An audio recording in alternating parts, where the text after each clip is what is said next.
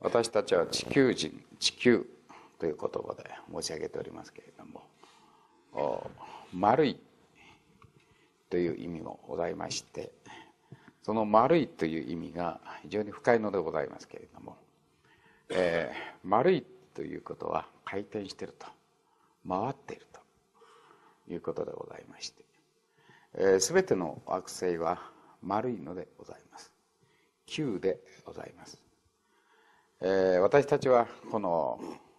いろいろのこの四角い惑星とか三角の惑星とかそういうものはございません。宇宙の惑星は全て丸でございます。球体でございます、えー、そういうことは宇宙大宇宙そのものが全て回転状態で、えー、存在しているということでございまして。全ては循環。循環の法則と言いまして全て循環でございます、えー、世の中に循環してないものは一つもございません、えー、それが宇宙の法則でございます。全部回っております。私たちも回っております。血液も循環しております。その循環というものを私たちはよく知っていただかなければなりません、えー、いろいろなものは回り回っているのでございまして私たちは本当にこの回転状態の中に生かされていながら回転という意味回るという意味マリという意味その意味がまだ分かりません。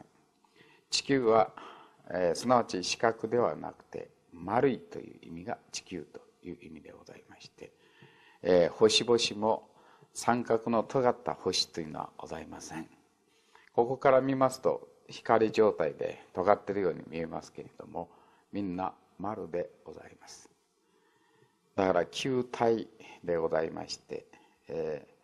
私たちはこの循環というものをまず、えー、知っていただきたいと思いますね。全部、えー、循環ということは球体ですから無限ということを意味するわけですね。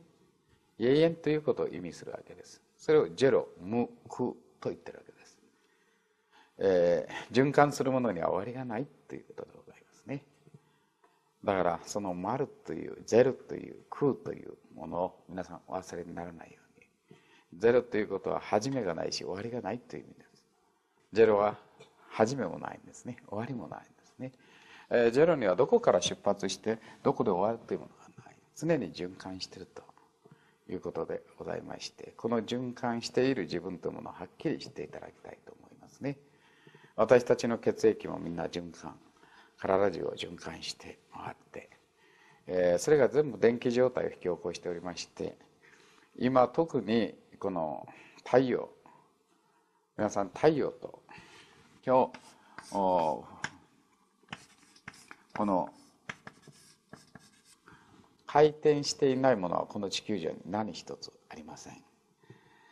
えー、いろいろと私たちはこの宇宙のものはこの左巻きと右巻きという低気圧と高気圧という存在で回転して存在しております。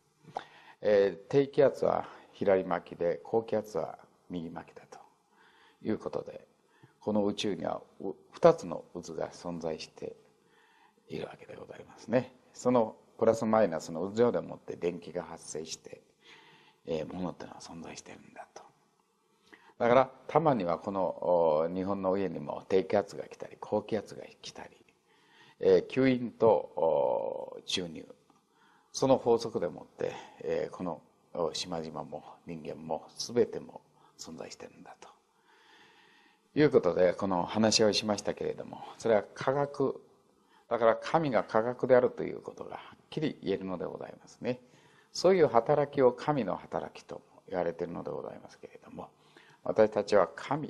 と言いますと普通はあ自分の得になるような泣き言を言って拝むような対象物が神だと思ってますけれども私この千葉に言わされば神というものは宇宙を司っている科学だと宇宙科学だと言いたいのでございますね。そういう